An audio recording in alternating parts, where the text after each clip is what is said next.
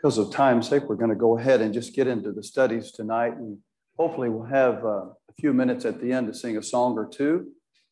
Um, but right now, as I promised last week, we're going to get into one of the studies that uh, will need to be done at some point. There's no way, brethren, we could, we could study together in this setting all the many subjects, topics, lessons that you might need to give in a evangelistic class. Uh, but there are certain studies, and it depends on the person. It always depends on the person and their need. But there are certain studies that are commonly done, commonly given.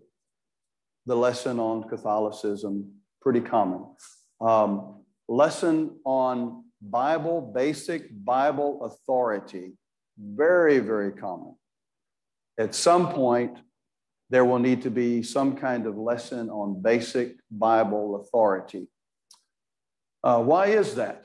Why is it important that this person have a great respect for the Bible as the authority before you proceed much further in your studies? Well, how wide is the inside of this building here? If I ask 20 people in the room right now to tell me the distance from that wall to this wall here, I would probably get 20 different answers. And the reason for that is because we're trusting ourselves. We're looking at that and we're giving, you know, a subjective estimate of the distance between those two walls.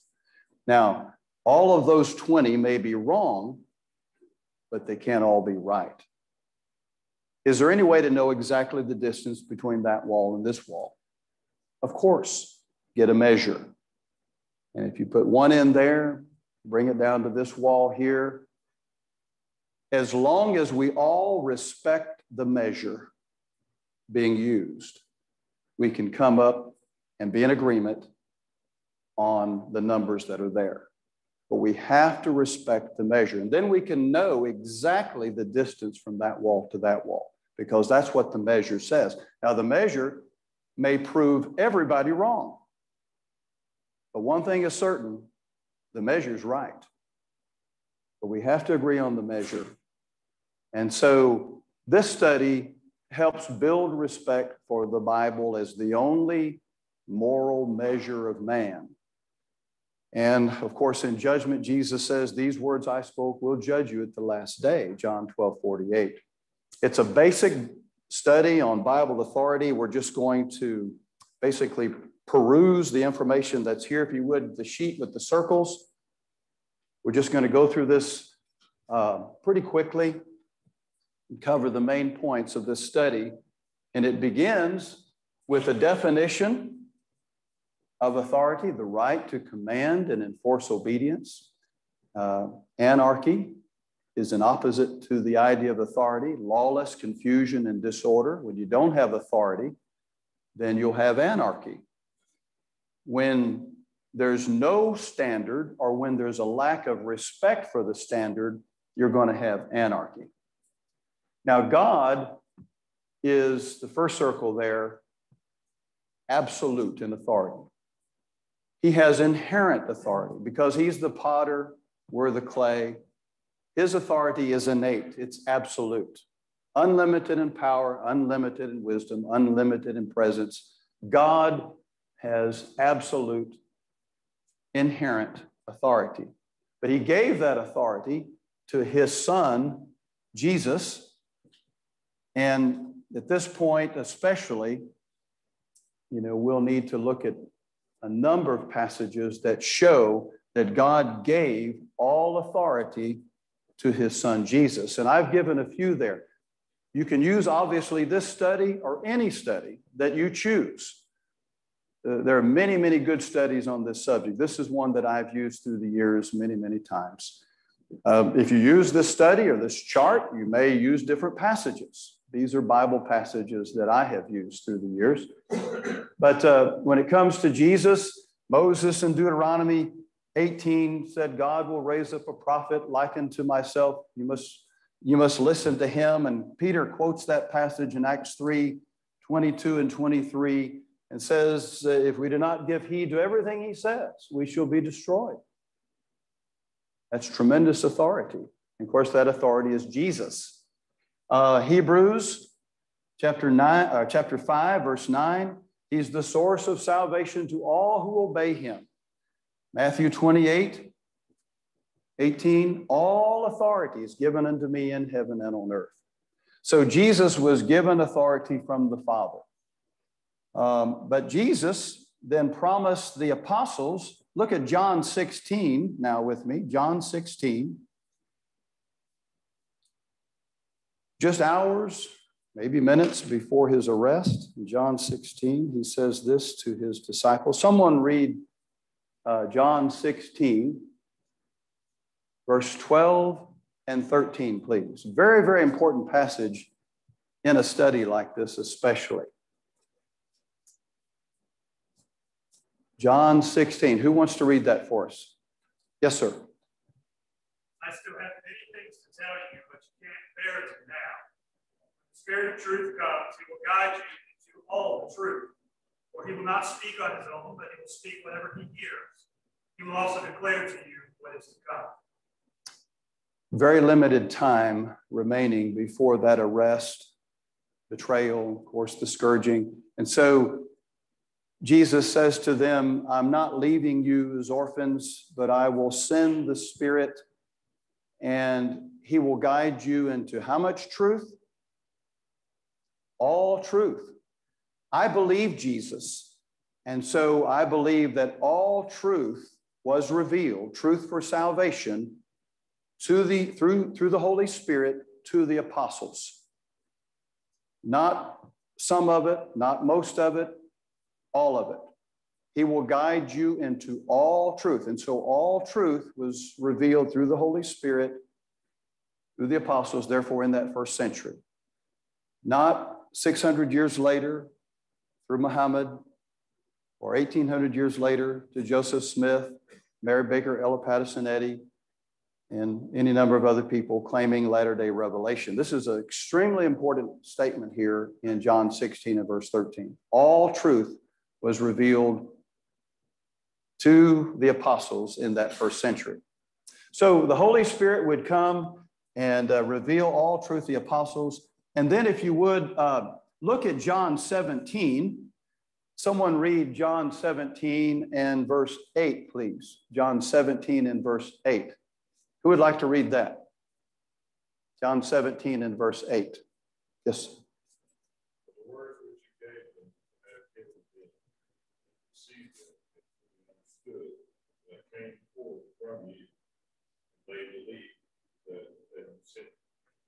So much is in that one statement there. Of course, the whole chapter is a prayer, and Jesus is talking about again delegated authority, praying for his apostles. Most of the prayer is for his apostles that have been chosen. And Jesus, in that prayer, says, Father, the word you've given to me and when I do the study, I've got a pretty good sized chart and I'm pointing all this out as I go. I've given to them, a little bit of role playing here, I've given to them, and they receive them, these words, and they believe that I came forth from thee.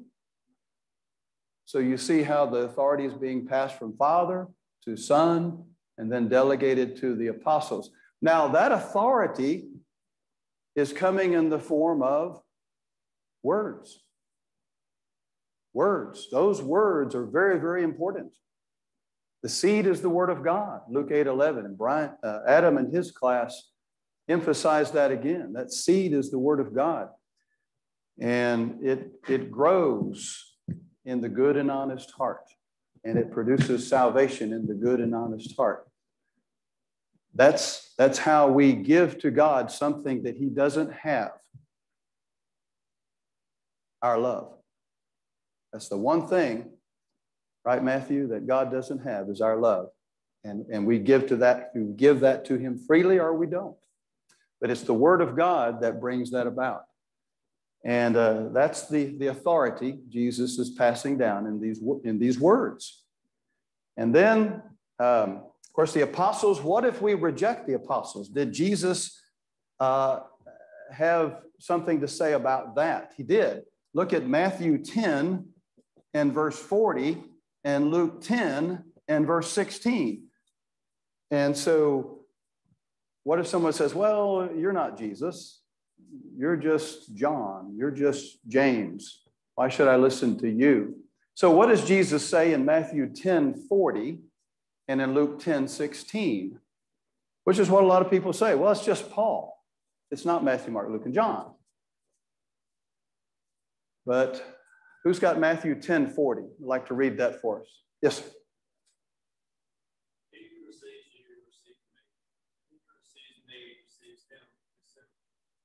So, the principle of delegation. I'm sending you out. You're my ambassadors. If they receive you, then they're receiving me. Conversely, if they reject them, then they're rejecting Jesus. Okay, what about uh, Luke 10 16? Jared, you want to get that too? Luke 10 16.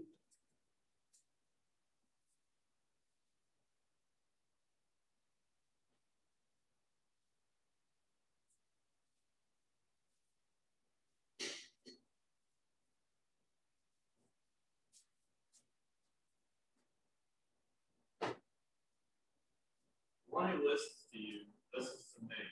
One who rejects you rejects me.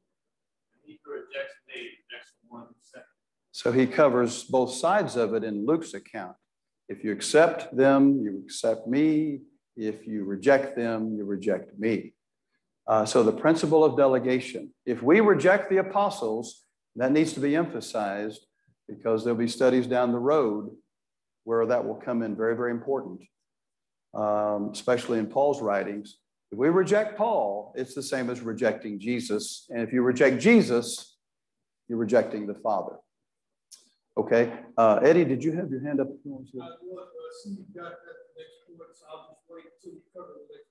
Okay. Yes, sir. Yeah, on the written word part, or okay. All right. So, um, and of course, Paul will say things like um, in Philippians 4, verse 9, the things you've heard, learned, received from me, practice, and God will be with you. What if I refuse to practice what I see and I've heard and received from Paul? God will not be with me. So he is an ambassador of Jesus Christ, and I, I need to listen to him because he's only the messenger of Jesus Christ. So the apostles eventually spoke this word, and the spoken word became the written word. And the written word we find is as authoritative as the spoken word. And there's, there's many passages here. Obviously, many more could be given. Uh, in Kevin's class, we read the passage there in First John, John emphasizing in verse 2 and 3. He said, These things I have written that you may have fellowship with us, he says, uh, us being the apostles. Uh, and indeed, he says our fellowship is with God. And he's talking about the gospel. These things I have written. And so uh, the same gospel that brought John and the other apostles into fellowship with God will bring us into fellowship not only with them, but with God as well. So we come to God through that gospel. It's the power, 116, Romans 116, and we must abide in the gospel in order for that fellowship to continue. We don't come to God through the gospel and then abandon it. We must abide within that teaching, seek to follow it and learn, grow in it, uh, of course, all our lives. Eddie, do you want to make a point now? or? Yeah, this, this idea of the importance of the word is just absolutely terrible. Yeah. From the very story of creation, how did God create everything? So he yeah. spoke. Yeah And then in John 6, when the disciples started to leave Jesus, and he asked his own 12, said, Do you want to go away also? Peter's response was, Lord, whom we go? You have the words mm-hmm. eternal life. Yeah. And then John 12, which you got in here, and where Jesus talked about if you reject my words, my words will condemn you. And in the context, he's also talking about that words will give life. Yes. And so the, you know, people kind of look at the Bible and sort of say, well, I know it's a good book. Or, you know, Yeah. there's some things in there that I can learn from. These are the words of life. Amen. Every word in there. Yeah. And if we reject or neglect any word in there, we're neglecting life itself. Yeah. Amen. Well said. Um, used to be a saying that said, God said it. Uh, I believe it. That settles it. Remember that? It's not correct. It's incorrect. How should it read? God said it. That settles it. Whether or not I believe it, God's word is forever settled in heaven. Psalm 119. God's word is that seed. Remember, God breathed into Adam and he became a living soul. God's breath is life. And what does the word inspiration mean? Inspiration. God breathed. All scripture is God breathed and is profitable. It's from God, it should be profitable. Indeed, it is. Teaching, reproof, training, instruction, and righteousness. So it gives life. It's the power that we have to have. There is no life apart from the seed of God's word. It's seed, but it only grows in the good and honest heart. Yeah, but we've got to make sure it is the seed that we're planting. Learn it, handle the word accurately, preach it boldly and humbly, and then get out of God's way and let His word do its work. Let His word do its work. So, um, many, many other passages talk about the, the authority of scriptures. Maybe one other one we'll look at here. Uh, 1 Thessalonians 2.13. I love this statement uh, made by Paul. 1 Thessalonians 2.13. Who's got that passage for us? Yes, please. this reason, we also constantly thank, thank God that when you received from us the word of God's message, you accepted it not as the word of men, but what it really is, the word of God, which also performs the work of you. Paul's putting it out there. He says, You understand that I am just a vehicle. I am relaying this eternal message, and you accepted it that way as the message from God. And I am simply the messenger uh, of the Lord. And that's the way we need to teach this word. It's the message of God, and we're just trying to relay what God has said, and in such a way that uh, we don't get in God's way. Okay, so then we have over here, outside of all of that, um, we have man. And so we want to, here's man, and we are to look into that written word. And here's where we make the point with our student that when we look into the written word, based on things that we've been teaching now, uh, maybe a week, a couple of weeks, few weeks with someone, when we look into that written word, who are we really looking to? If we, if we accept this written word, who are we truly accepting? God Himself. And if we reject that written word, we're not rejecting Paul or Peter or James, you know, or John. We're rejecting God. And we need to get that across to people. Otherwise, your labors will be in vain. And so it's very, very important to maybe begin with a study like this or at some point work a study like this in. Um, and there's, there's other passages here. I usually end with some of the warnings of Scripture. Anyone have any more comments or questions about this particular study? Uh, we've got one of, if you would look at the other uh, handout sheet that was given to you, this is the study that goes along with that study, God's unfolding plan. Again, a foundational study on building respect for the Bible as the authority of God. So let's just go through this, this sheet briefly God's unfolding plan. The gospel was first taught by word of mouth. in keeping with the prophecy, all must be learned and taught of God. The gospel was first taught by word of mouth, go into all the world, preach the gospel to every creature. The apostles went everywhere preaching the whole counsel of God. Now, I believe when Paul went to Ephesus in Acts 20 and he says, I withheld nothing profitable, I taught you the whole counsel of God, he knew the whole counsel of God at that point because that's what he says. Now, they were then given these gifts to remind them of what Paul had been saying the prophecy and the tongues and, and knowledge and things like that, because Paul couldn't stay, but the whole counsel of God was taught. It wasn't written down yet. It wasn't written down, but it was taught. Now, if the whole counsel of God was taught, doesn't that agree with what Jesus says in John 16, 13? The Holy Spirit will come and guide you into all truth. And, and I believe that's what Paul is saying. It, was revealed then once for all, not once in a while. Uh, and then, number three, by AD 64, this gospel was preached throughout the world. Jesus said it had to be, Matthew 24, 14. It had to be preached throughout the world. And in Colossians 1.23 says it was. Uh, before the end of the first century, the spoken word became the written word. The scriptures were complete before the end of the first century. God has granted unto us everything pertaining to life and godliness, 2 Peter 1 3. That was in keeping with Jesus' promise. First century Christians accepted these writings as inspired. These letters were exchanged among the churches. Um, look at that. Look at that passage in Colossians 4, if you would. Colossians 4 16.